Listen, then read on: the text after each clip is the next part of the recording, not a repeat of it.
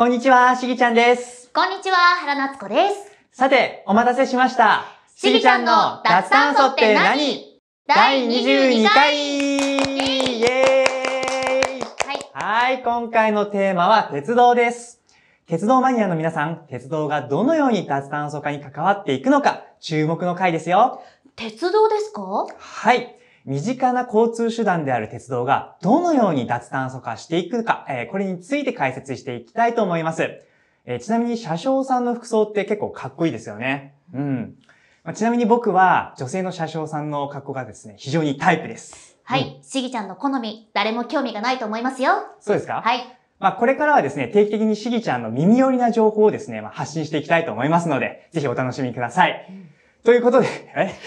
ということで今回のテーマは鉄道の脱炭素化について取り上げたいと思います。はい。急に真面目ですね。はい。では、早速解説をお願いします。任せてください。はい。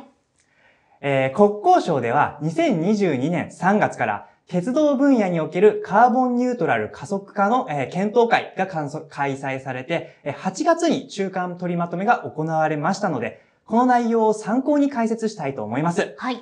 まずは、脱炭素の観点から見て、鉄道というのはどういった位置づけなのか、これについて見ていきましょう。なっちゃん、鉄道の CO2 排出量は他の乗り物と比較して多いのか少ないのか、どっちだと思いますか？うーん、なんとなくですけど、少ないんじゃないですかね。はい、その通り、正解です。はい。えー鉄道は他の交通機関と比較すると CO2 排出量の低い乗り物になります。はい。人や貨物などを大量にまとめて効率よく運んでくれるからですね。はい、その通りです。はい。えー国土交通省から輸送方法ごとに人一人を 1km、えー運ぶのに排出する CO2 量が示されていますので、えーちょっと見てみましょう。はい。比較してみると、鉄道の排出量がダントツで少ないですね。はい、少ないですよね。はい。最近は企業のスコープ3である出張や通勤の排出量を削減する動きも活発ですので、えー今後出張や通勤などの移動手段は車や飛行機を使わずに、えーできるだけ電車を使ってくださいというふうにまあ推奨する取り組みを行う可能性がありますね。もちろん排出量ゼロの最強の乗り物っていうか移動方法は、うんえー徒歩だったり自転車なんですけど、はい。はい。電車を利用することが環境に優しい移動手段であることは分かりました。むしろ、電車が環境に優しい乗り物なら、これ以上脱炭素化しなくてもいいんじゃないですか？はい。まあ、エネルギーあたりの、えー排出量は少なくてですね、効率はいいんですけど、たくさんの人が鉄道を使いますので、エネルギーの消費量としては非常に大きいんですよ。はい。環境性能の高い移動手段である鉄道の脱炭素化をさらに進めることで、日本の脱炭素化を促進する狙いなんです。では、鉄道で CO2 がどの程度排出して、どの程度電力を消費しているのか、えー見てみましょう。はい。鉄道事業者の CO2 排出量は993万トン。電力量は215億キロワットアワーとなっていますね。これはどのくらいの量なんでしょうか？はい。えー日本のえー CO2 排出量は約10億トンになりますので、鉄道分野で日本全体の約1%の排出量を占めるということになります。はい。ちなみに電力では日本全体のえー約2%ですね。2%を消費しているということになります。このグラフを見ると、鉄道分野で排出する9割が電力由来で、使用電力の4分の3が火力発電の電力なんですね。はい。ということは、調達している電力を非化石電源に切り替えていくことが脱炭素化につながるということですね。はい、その通りです。はい。でも、鉄道の脱炭素っていうのは、まあそれだけではないんですよ。はい。国は鉄道の脱炭素を強化していくとともに、鉄道による脱炭素と両輪で進める鉄道脱炭素の取り組みを求められるというふうに、えーしています。鉄道による脱炭素っていうのはどういうことですか？はい、えーこれはですね、鉄道分野の排出量を削減するだけではなく、えー鉄道自体が脱炭素化に貢献するという意味です。これはまあどういうことなのかっていうのは次の鉄道脱炭素の実現に向けた取り組みの方向性っていうのがありますので、ここで解説したいと思います。お願いします。こちらは鉄道の脱炭素プロジェクトを3つの類型に分けたものになります。なっちゃん、ちょっと読んでもらえますか？はい。1、地産地消型。2、産地直送型。3、新電車型。はい、ありがとうございます。はい。えー一つずつ見ていきましょう。まずは地産地消型です。これは駅施設の屋根や線路脇のスペース、えー車両基地基地や再配線時期などの、えー鉄道アセットを活用して再エネを生産したり、でその再エネで水素をまた製造したりと、えー沿線地域で作られた再エネを鉄道で消費するというプロジェクトになります。駅施設の屋根や配線時期の空きスペースに太陽光発電や風力発電を設置するということですか。はいそれはいいですね。はい。沿線地域の再エネを消費するというのもいいですね。地域の再エネ拡大につながりそうです。地産地消ということは、鉄道アセットで生産された電力や水素も地域で活用するということでしょうか？はい、なっちゃん、その通りです。はい。生産した電力や水素を沿線地域で活用する方法も合わせて検討されています。えー例えば、駅で使用する電力を、えー生産した電力でですね、賄ったりとか、あと、災害時には、地域の病院やコンビニといった災害拠点に、えー駅から電力を供給したりするとか、そういったことが考えられています。はい。あと、それにはです、あの、それに、駅にはバスが走っていますよね。駅をハブにして EV バスや水素バスにエネルギーを供給していくっていったことも、えー考えられています。まさに鉄道の脱炭素だけでなく、鉄道による脱炭素となりますね。はい。では、産地直送型というのはどういった内容でしょうか？はい。えーこちらはエネルギーの輸送に関するプロジェクトです。鉄道の広いネットワークを有効活用して、鉄道アセットを活用した送電網や水素パイプラインを、えーえー敷設します。なるほど。輸送というから列車でエネルギーを運ぶということかと思いました。あその発想はいいですね。はいえー鉄道貨物による水素輸送や蓄電池による電気輸送についても、え実現の可能性の検討が行われていますので、なっちゃんが言うように、列車にエネルギーを貯めて、で、それを輸送するといったことがあり得るかもしれませんね。はい。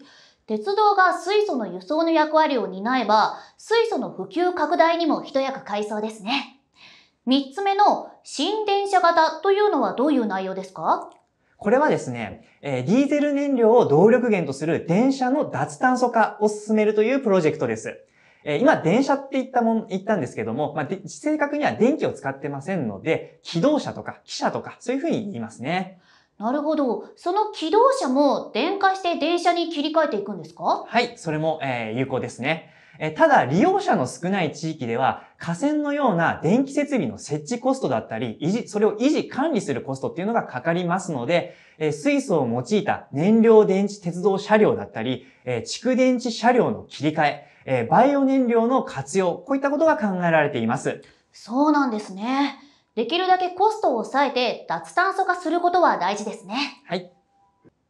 国では、このような車両の普及拡大に向けて、技術基準や規制の見直しを進めるだけではなく、日本初の技術として、えー積極的に海外展開しようということも考えています。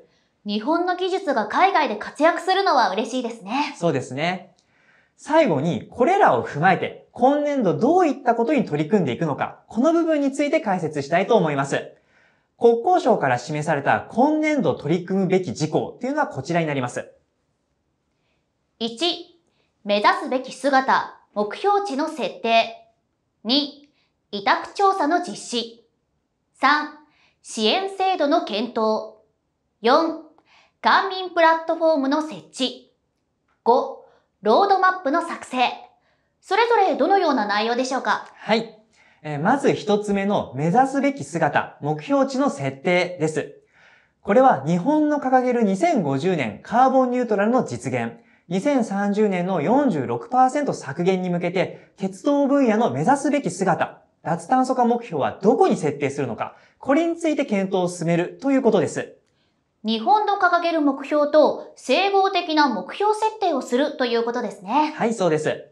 国交省からは目標の設定例として2019年度比で2030年までに駅施設が排出する CO2 の150%を削減する。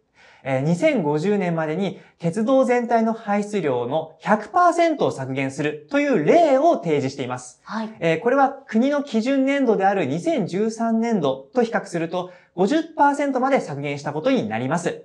えーまあ、例ではあるんですけども、2022年度中にこの数値を決定するというふうになっております。国の掲げる2030年46%の削減よりも高い削減率ですね。そうですね。鉄道分野の環境優位を保ち続けるために高い目標を掲げていると思われますね。はい。では、二つ目の委託調査の実施はどんな内容でしょうか？これはですね、先ほど紹介した、え地産地消型、産地直送型、新電車型の3つの方向性に対して委託調査を行うという内容です。何の調査を行うんでしょうか？はい。例えば、太陽光発電の設置による再エネの生産だったり、蓄電池への貯蔵について、削減効果や事業性について、えこれらについて調査を実施します。その調査結果をもとに2030年、2050年の鉄道分野の削減目標の設定とか、えロードマップの策定につなげていこうとしています。はい。目標やロードマップの策定をするにあたって必要な情報を調査するということですね。はい、そうです。では、3つ目の支援制度の検討はどういった内容でしょうか？はい。こちらは、鉄道事業者の脱炭素化に向けた取り組みを支援する制度を整理するという内容です。令和5年度の予算要求に向けて、環境省やエネ庁の支援制度を適用できないか、沿線地域や鉄道利用者の受益者負担や支援のあり方などを検討します。支援によって鉄道事業者の脱炭素化の取り組みを後押しする狙いですね。4つ目の官民プラットフォームの設置はどういった内容でしょうか？はい。これは鉄道脱炭素官民プラットフォームの立ち上げになります。プラットフォームに鉄道事業者だけではなく、えー、省エネ、再エネ関係の技術や、えー、知見のある企業がこれらに参加して協力体制を構築して、電力部門との連携、オープンイノベーションを促そうというものです。それぞれの強みを持ち寄ることで、鉄道分野の脱炭素化を加速させることができそうですね。ですね。はい。最後のロードマップの作成はどのような内容でしょうか？はい。これは2030年、2050年の目標に向けて、行政、えー、鉄道事業者、メーカー、研究機関、独立行政法人など、えー、いつ何を取り組むかについて整理して、で、ロードマップを作成するというものになります。ロードマップは今年度中に作成する予定です。はい。鉄道分野の脱炭素化がどのようなスケジュールで取り組まれていくのか楽しみですね。はい。えー、ここまでが鉄道分野の脱炭素化の最新動向になります。なっちゃんまとめの方をお願いします。はい。1、鉄道は環境優位性の高い輸送手段で今後もさらに需要拡大する可能性を秘めており、国と鉄道事業者が連携して脱炭素化を推し進めていく方針。はい。車や飛行機などと比較して CO2 排出量の少ない電車は輸送部門の脱炭素化の鍵になりそうですね。2、鉄道分野の代表的な脱炭素化プロジェクトは地産地消型、産地直送型、新電車型の3つの類型に整理される。はい。地産地消は、えー、再エネの生産と貯蔵と消費に関する取り組み。産地直送型は、エネルギーの輸送に関わる取り組み。新電車型は燃料電池鉄道や電源車の基準づくりや国際展開に関わる取り組みですね。3、2022年度中に鉄道分野の脱炭素化目標、ロードマップが作成される。具体的な目標や取り組みはこれから詰められていく予定です。進捗があったら NE チャンネルでも取り上げていきますね。はい。そして毎回のお願いになりますが、動画が良かったなと思ったら高評価を押していただけると励みになります。また、チャンネル登録もお願いします。それでは皆さん、さようなら